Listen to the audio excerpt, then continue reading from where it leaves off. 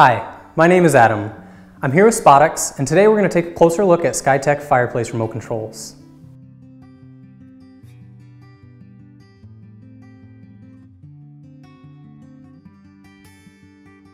So here we've got a typical gas fireplace, and we've got a SkyTech remote control hooked up to it.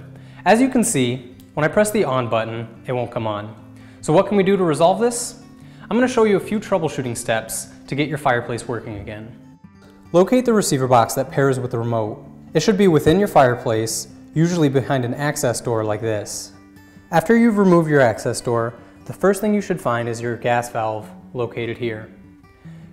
Then on the TH and THTP terminals should be connected two wires that run to your receiver box located here.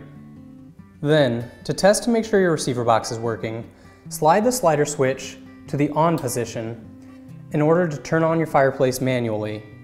If it does not, refer to your fireplace operation manual or call a gas fireplace technician. For both the receiver box and for the remote control, check to make sure that your batteries are fully inserted and touching the contacts. Also check to make sure that there's no corrosion within the battery compartments. And then make sure that you're operating the remote control within 20 to 25 feet of the receiver box.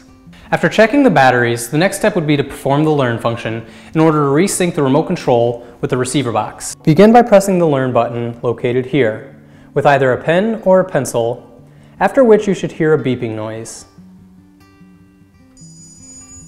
Immediately after, press the on or mode button in order to confirm the new signal. Your fireplace should now turn on. So if your fireplace doesn't turn on, another step to take would be to reset the codes in the memory within the receiver box. To do so, press and hold the Learn button for 15 seconds. After 15 seconds, you'll release the Learn button and you should hear three audible beeps indicating that the memory has successfully been cleared.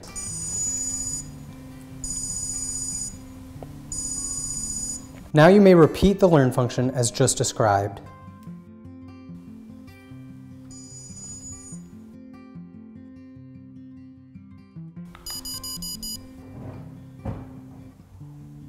These steps should solve just about any issue you're having with a standard SkyTech fireplace remote. However, if you're still having trouble after watching this video, please feel free to give us a call and one of our technicians would be glad to assist you. Thanks.